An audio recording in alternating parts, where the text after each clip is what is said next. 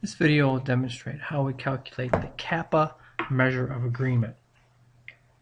This is commonly used in medical literature to look at or assess inter-rater agreement or reliability. So example would be assessing the diagnostic capability of two different clinicians. Or we can also use it to determine the consistency of two different diagnostic tests or two different type of assessment techniques. So maybe a newly developed test versus an established or gold standard test, or maybe the diagnostic capability of an experienced clinician versus an inexperienced clinician.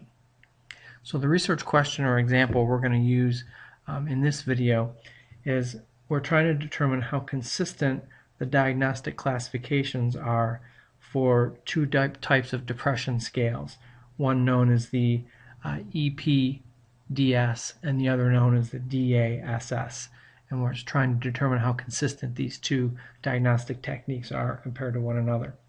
So we've got two tests, both have categorical outcomes. They either are depressed or not depressed. And so one of the assumptions here is that we have an equal number of categories between the two uh, variables or the two factors. So we have two tests here we're trying to compare. And so each of these tests have two diagnostic levels, either positive or negative for, for depression. Um, and so that's one of the assumptions. We need to make sure that uh, both uh, factors have similar numbers of categories. So how we perform this analysis is we go to the Analyze menu, we go to Descriptive Statistics, and then we go to Crosstabs. So we want to make sure we're moving our two variables into the rows or columns box. Uh, in this case, it doesn't really matter which is which. Um, typically, what we would do is move our, our gold standard, if we had one, into the columns uh, and move the new technique into the rows. So once we've done that, and we're going to assume this, this EPDS is our gold standard and the DASS is, is the new test we're trying to determine its consistency. So the next thing we need to do is go to the statistics button okay, and make sure that kappa is checked because we're doing this kappa measure of agreement. Then we click continue. Next thing we do is go to the cells button and make sure we've got the observed counts checked and then make sure we're going to see percentages in the row and in the column and this is going to allow us to look a little deeper as far as um, how we can interpret the outcomes here. So once these three boxes are checked we click continue and then we click OK. So the first output box that we're interested in um, is labeled as symmetric measures. And this is going to give us an idea of, of what level of agreement um, is there. And so we can look at two things. We can look at this kappa value, and then we can also look at the p-value associated with that kappa value. So as we can see here, our kappa value for our data is 0.570 and that's associated with a p-value of less than 0.05. It's actually quite small. It's less than 0.0005. So this would be statistically significant in saying that the level of agreement is strong or the level of agreement is statistically significant. Some authors also place some, some qualitative value to this kappa value, saying that a value of 0.5 or greater for kappa represents moderate agreement.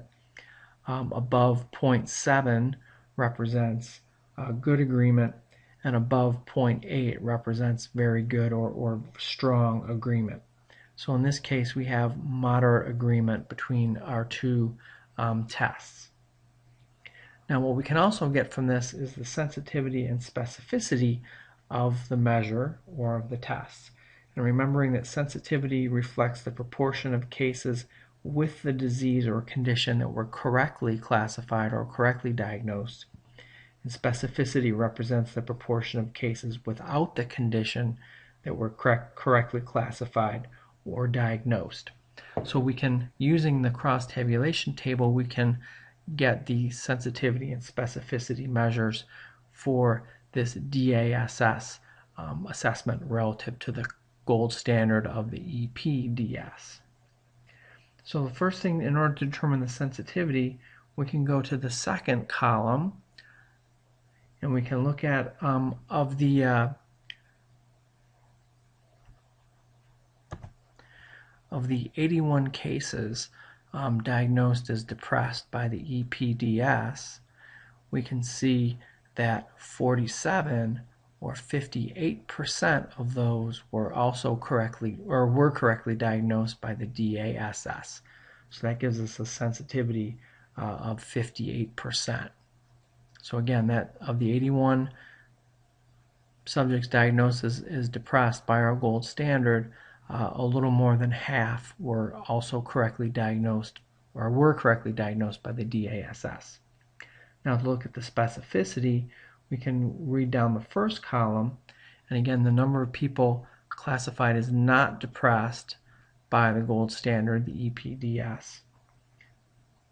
It appears that about 230 were correctly diagnosed as not depressed by our DASS instrument, which is about 94%.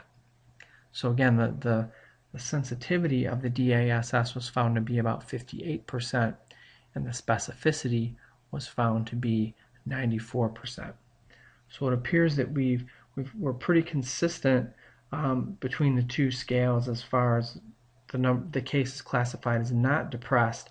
However, there appears to be um, some inconsistency as far as diagnosing the, the cases that, that actually were depressed. So this would call into question the ability of our DASS instrument to correctly diagnose individuals that have the condition, but it seems to do a fairly good job of ruling out people that that don't have the condition. In other words, identifying people that, that are not depressed. So to summarize, the, the kappa measure of agreement is a way we can look at quantity or excuse me categorical outcomes in order to determine the consistency of agreement between two measures or two measurers, depending on the situation we're in. And we look at the, the actual kappa value of agreement to determine the consistency. We can use the p-value to determine the statistical significance of that agreement. And then using the cross tabulation table, we can determine the sensitivity and specificity uh, of a measure compared to a gold standard or the sensitivity and specificity of one rater compared to another rater.